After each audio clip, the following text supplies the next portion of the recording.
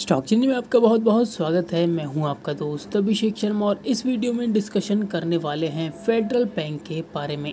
यहाँ पर हम डिस्कस करेंगे क्या होने वाले हैं इंपॉर्टेंट सपोर्ट्स क्या होंगे टारगेट्स एंड क्या स्ट्रैटेजी हम लेकर चलें। छः मार्च के लिए तो शुरू करते हैं दोस्तों, बात करते हैं आज के फिफ्टीन मिनट्स चार्ट की। जैसे ही स्टॉक ओपन होता है, लगातार गिरावट का सिलसिला स्टॉक ने बनाकर दिखाया है।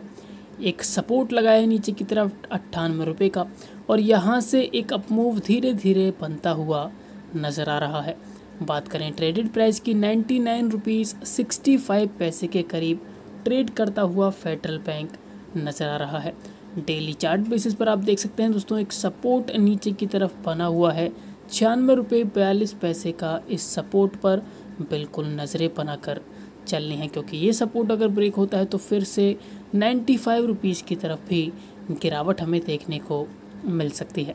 बात करें तेज़ी की, अगर यहाँ से यही तेज़ी बरकरार रहती है तो नेक्स्ट टारगेट जल्द ही स्टॉक अचीव करेगा एक सौ का टारगेट तो ऊपर की तरफ़ वन हंड्रेड एट रुपीज़ का टारगेट रहने वाला है फेडरल बैंक में।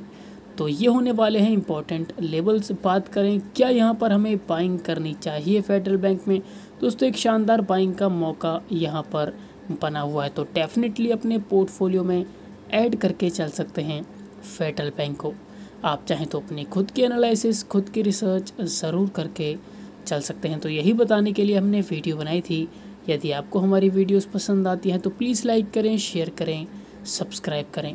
वीडियो देखने के लिए आपका बहुत बहुत धन्यवाद।